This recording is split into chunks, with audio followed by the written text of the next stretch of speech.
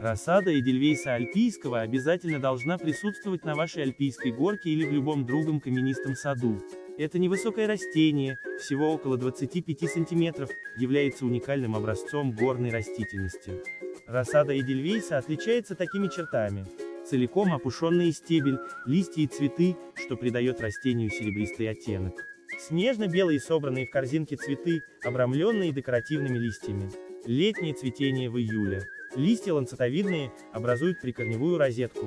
Как и многие другие горные растения, Эдельвейс не требует особого ухода, кроме поливов в засушливые периоды. Семена цветка с летучкой легко распространяются ветром, поэтому для их сбора плоды растения лучше срезать еще до полного отсыпания семянки. Идельвейс альпийский это травянистый высотой от 20 до 25 см, диаметром 22 см. Цветет растение в месяц август. Окраска цветка серебристая. Размер цветка этого прекрасного растения достигает 10 см. Весной листва по цвету серебристо-зеленая.